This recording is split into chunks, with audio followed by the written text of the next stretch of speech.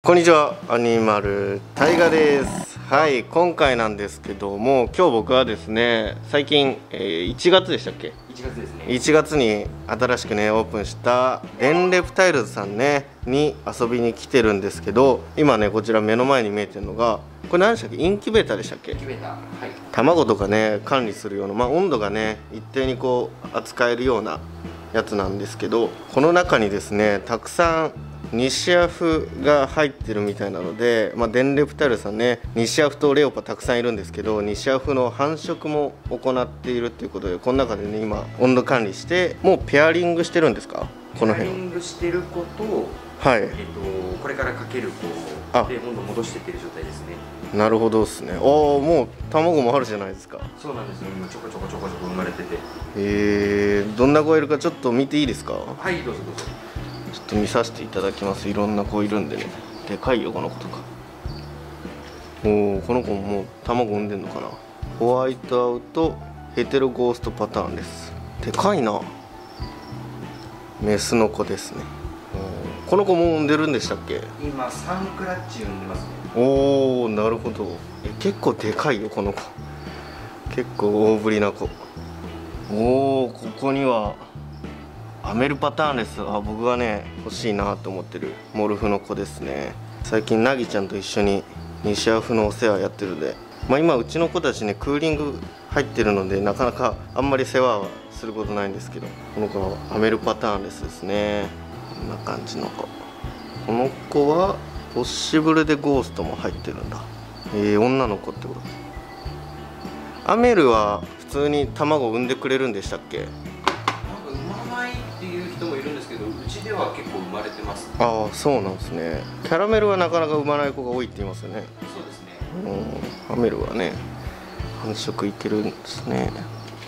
あこっちもアメルパターンですだ。メスの子。あいいサイズだな。えー、アメルパティいいなやっぱ。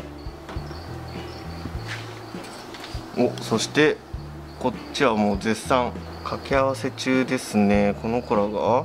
キャラメルオレオヘテロズールオレオズールヘッドキャラメル。おおなるほど。スノーがいっぱい出るじゃないですかこれ。スノーズール狙いのペアです。ね スノーズールが出るみたいです。ああ見てスノーの。色はいいねやっぱ。ああ上の子かな、うん、上の子が。スノーヘテロズールですね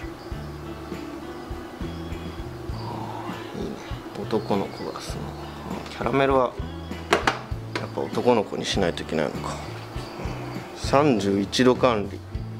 このインキュベーターめっちゃいいですね。そうですね。もうすごい有効活用 超でかい。これアメリカのやつなんでしたっけ？えっとあのデューさんのところのああボールパイソンのはい。専門店の、えー、こんぐらいのサイズだったらいいな。卵めちゃめちゃ管理できるな西シャフちゃんなんてこの中でそうだよな。飼育できちゃうんだよな。うん。部屋一括管理じゃなくていいもんな。いやみんな大きいな。ホワイトアウト。オレオパターンです。お。この子もでか。この子はちょっとじゃあこの辺の子は一回しまっちゃおう。この子がホワイトアウトヘテロゴースト。の子かな？でか。っでかいねやっぱホワイトアウトいいよな。ホワイトアウトって個体差も激しいしすごい面白いモルフなんだようちもねたくさんホワイトアウトいるんですよね。ただホワイトアウト同士をかけちゃうと獅子遺伝だったりするみたいなのでなぎちゃんはよく顔と柄だけで選んじゃうのでね。掛け合わせあんまり気にせずお迎えしてるのでホワイトアウトだらけなんですよね。そしてインキュベーターの上にもちょっと生態いたんですけどこの辺の子たちも今もう繁殖を狙ってるって感じなんですか？そうですね。今かけてるペアもいて。へえこれはなめ肌玉親森そうですね。なめ肌玉親森も最近めちゃめちゃモルフ多いですよねうーん。この子らちなみになんていうなんかモルフなんですか？えっとハイポとはい。えっとノーマルの男の子ですね。おーこっちの大きい子がハイポですか？ハイポですね。なるほどね。とノーマルの子。尻尾の形が面白いでしょ？これ。玉親森名前の通りですけどね。お先が玉みたいになってます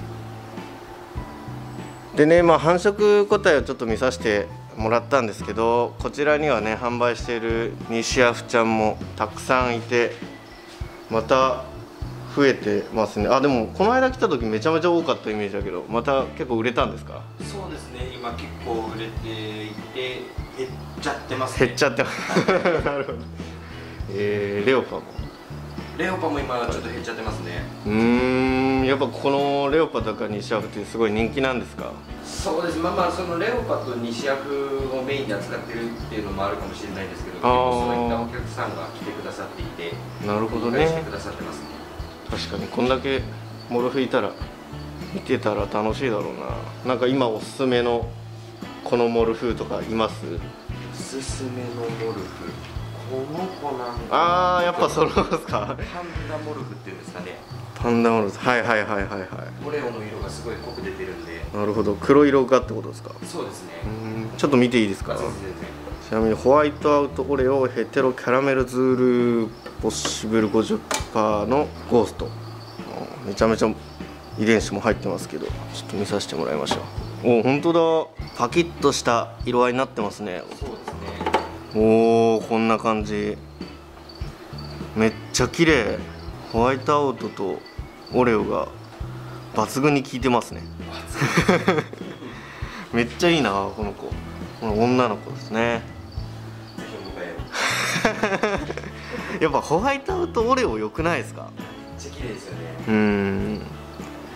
いいな女の子ですよ皆さん。いやーありがとうございますはいということで気になる方はツイッターでもちょいちょいあれですか？生態出てます？